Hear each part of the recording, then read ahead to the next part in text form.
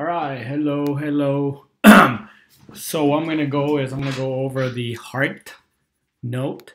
So keep in mind, you guys just um, get a chance. You just look at the blood. Hopefully, you familiarize uh, with blood typing and what components are inside your blood, right? Um, so today we're gonna move on to the heart. The heart. So again, uh, we are still on the cardiovascular system. The cardiovascular system is um, heart, blood, and vessel, right? Those are the three things that make up the cardiovascular system. So today we're going to talk about pulmonary circuit and systemic circuit. Pulmonary circuit, pulmo mean lungs. This is the uh, vessel that bring blood to the lungs for exchange of gases like oxygen and carbon dioxide. Systemic is when blood vessel that carry blood back to the system, the body. Okay, that's the difference between. You know your root word, you can technically understand. Speaking of blood vessel, I blood are carried within blood vessel. There are three type of blood vessel that we have. You have the artery, the vein, and capillary, and they are different in size and the direction. Artery carry blood away from the heart.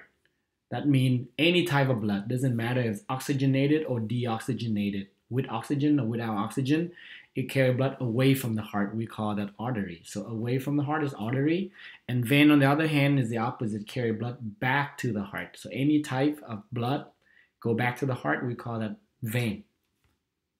And then capillary would be these. Um, oop, my bad. Let me open this. And capillary would be like the um, the blood vessel, the smallest blood vessel that is very thin. The layer is very thin, so this is where gas exchange, right? And you have you found them primarily in uh, surrounding cell and lungs, right? Very thin, so that way uh, gas can go through, right?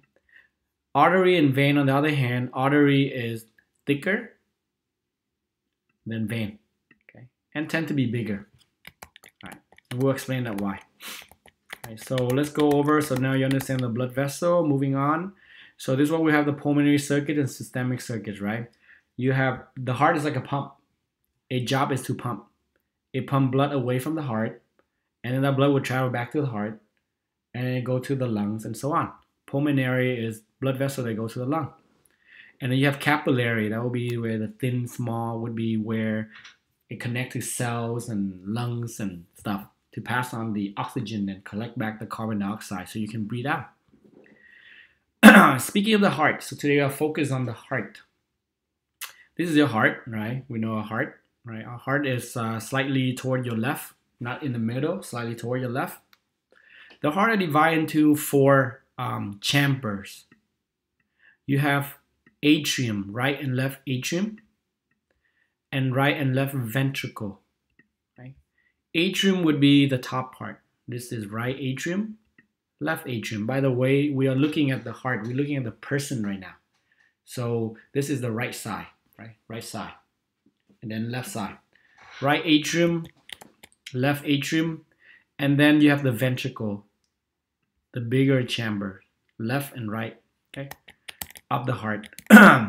we'll talk about this.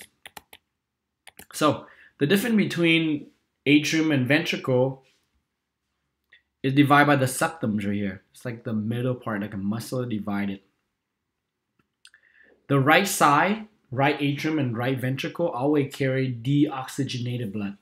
That means blood doesn't have a lot of um, um, oxygen.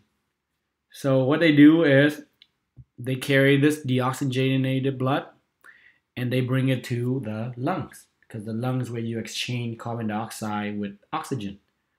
And the left side is what we call oxygenated blood. That means these blood will go to the rest of the body, wherever need the blood, okay, divide by the septum. So keep that in mind, keep it simple. Right is deoxygenated, on the left side is oxygenated. Okay, so this is your heart. uh, not toward the middle, toward the left side a little bit, surrounded by your lungs, right?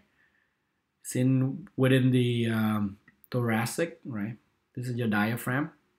Okay. Moving on. So your heart is surrounded by layers, right? We call that pericardium. It's like a double layer. Just imagine this is a balloon. You push your hand in, you create two layer, visceral and parietal. the inner layer is what we call the visceral. So this is the visceral layer. Visceral pericardium. and the outer layer is what we call the parietal. Parietal, peri, outside. Parietal, okay? I'll leave it there. Right, and that's so your heart is not just touching the lung, it's surrounded by layers. Okay. And this is your heart, right?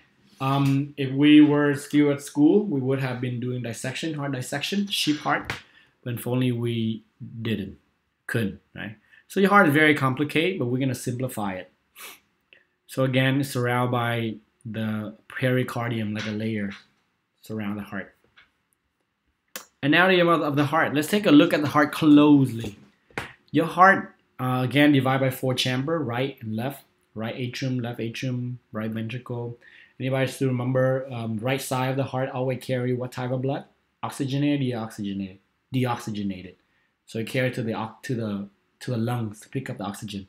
And left side always carry receive blood from the lung, and it has oxygen. Beside that, your heart also have what we call superior vena cava. Vena mean vein, right? Remember, vein always carry blood back to the heart. This is your superior vena cava on top. And then you also have inferior vena cava on the bottom. And they all carry the blood into the right atrium, right?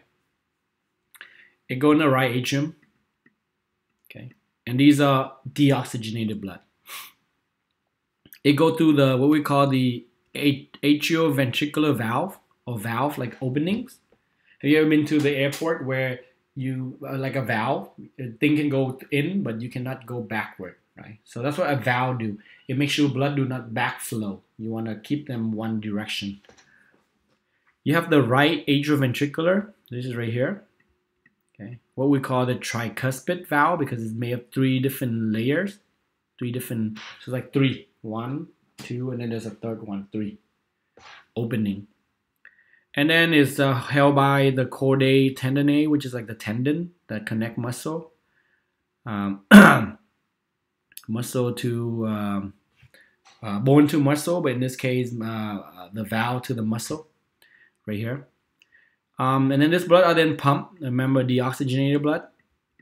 It then pump through what we call the again this is not same as the picture but you can see right um, septum is humongous the atrium is somewhere here atrium and this is the vent ventricle okay right chordae so again um, blood let me move this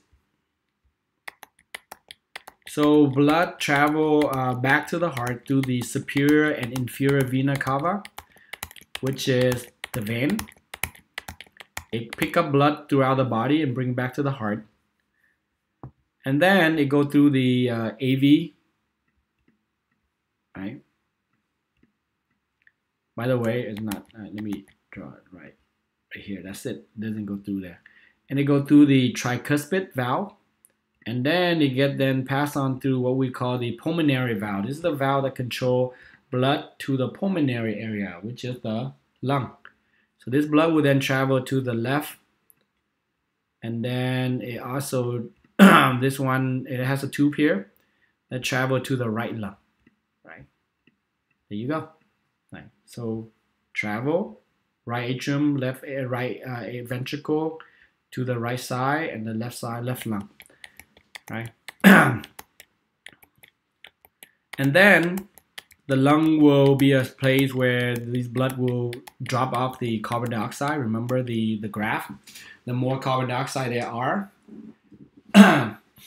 the chance that it will pick up carbon dioxide, the chance it pick up oxygen is less.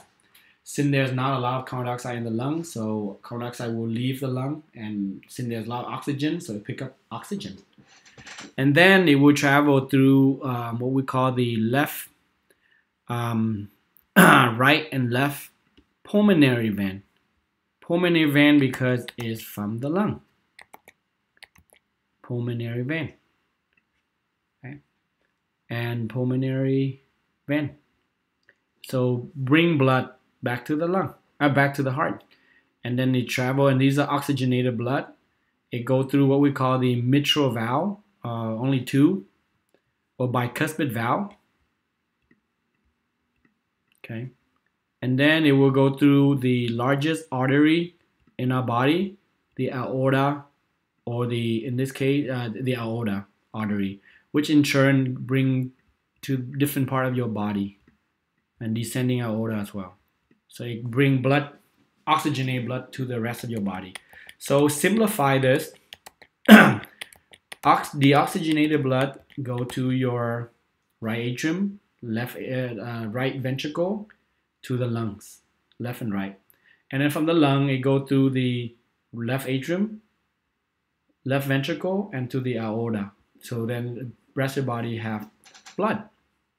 So that view of the heart, so check it out, anatomy the heart. So again, this is the difference between um, um, tricuspid and bicuspid, right? So your uh, tricuspid is between your left, I mean your right and right atrium and right ventricle. And then this is pulmonary semilunar valve. And then bicuspid would be between the left. And so make sure you study this part, okay? um, and then your heart is a muscle, so it also has what we call the uh, artery, even though it's called coronary artery. It is called coronary artery, even though it's head back to the heart. But again, these are tubes that bring oxygen to the heart. So we call them artery. Yes, I understand that usually vein is head back to the heart, artery away. But in this case, these are the artery that bring oxygen to the heart. It doesn't go inside the chamber or anything. It just stay around. And this is where heart attack take place. If your artery is blocked, your coronary artery cannot bring oxygen to the heart, so you have heart attack. Different from stroke. Stroke is for the brain, no oxygen to the brain. Right? Check this out. so we're gonna talk about how your heart beats. Your heart beats because the valve, remember the left, the tricuspid and bicuspid, close, lub, open, dub, lub, dub, lub, dub, open and close. Your heartbeat starts from what we call the SA node. It's like what we call the pacemaker. Remember, some people that their pacemaker does not work, they have to wear uh, electronic pacemaker. This is where right here. It all start here. This is where it start the beats. It then travel through the AV node. Right? It will squeeze the the atrium. Squeeze it. Blood will go into the left, I mean the ventricle, and then this signal will then travel through the what we call the per, per, Purkinje Purkinje fiber, which squeeze the heart from bottom up, so blood can go through the lungs or to the rest of the body. Make sense? So,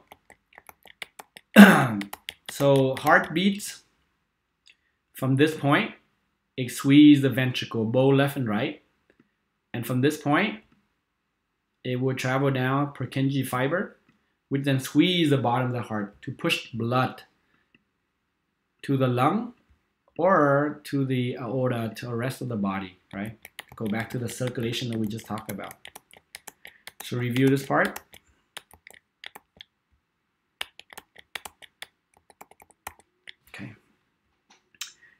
We're going to talk about ECG or EKG. You often hear EKG, but ECG is the correct term. It's what we call electrocardiogram. And this is when you often see movie, you see like a heartbeat machine to show you heartbeats. And that's because they follow how the heart um, beats. so when our heart is not beating, it's to go through what we call resting potential, just kind of like muscle or nerve it will gradually polarize, become more positive. And then SA no, the first one, remember SA no, the top, it will get depolarized to start to create heartbeats. And then, then pass on to the AV node and then the Purkinje fiber to squeeze the blood. So like this, right? So review this side, SA no. It will then pass on, will stimulate the AV node to, to squeeze. From the AV node, it then pass on to Purkinje fiber, right, which squeeze blood up. So check this out. Moving on, um, we're gonna talk about uh, EKG, ECG because your worksheet involved with that. Um, so pacemaker is your SA node, which is your sinoatrial node. When it's not working right, it creates a, a wrong rhythm. And what we term bradycardiac or tachycardiac. Brady means slow. That means your SA node is too slow. Heartbeat are not the right pace. Tachycardiac means your heartbeat too fast. On the other hand, tachy. So keep that in term. and then you also have uh, ectopic pacemaker. Um, when it generate high rate of action potential, beat to too extremely uh, not normal. Okay. So let's talk about our, our, ECG. We look at a machine. How do we know how heart beats? Keep this letter in mind. P, Q, R, S, T. When you look at in the movie, fat line when they don't have the heartbeats. But when they do have a heartbeat, it goes through what we call P, P wave, Q, R, S, T. So what does P wave mean? P wave mean the atria depolarized. The atrium. The atrium right here. It depolarized. It beats, it squeezes, it works. And then QRS is when your ventricle depolarized. So QRS is when your ventricle, you need to squeeze blood out of the heart. Atrium squeeze blood into the ventricle. So depolarization is very strong. And then you have the T wave, which is when your ventricle repolarize, it go back to normal, right? Because you you want blood from the vent the atrium to go back to ventricle. You don't want, so that's what we call PQRST. So don't forget to look at this, okay? And then we'll go over it on um, Wednesday or any other day you have question on. So let's create what we call like your heartbeats your pacemaker, your ECG, electrocardiogram or EKG. Okay. Q and T is where your um, interval of your ventricle. So this is your atrium, and this whole part is your ventricle. All right. Same thing, right? Um, a heartbeat. This is your heartbeat, right? This is when your ventricle beat, and then this would be uh, relaxed and this is when your um, atrial uh, beats delay a little bit so that way you allow all the blood to go in. And this is when your ventricle squeezes the blood out.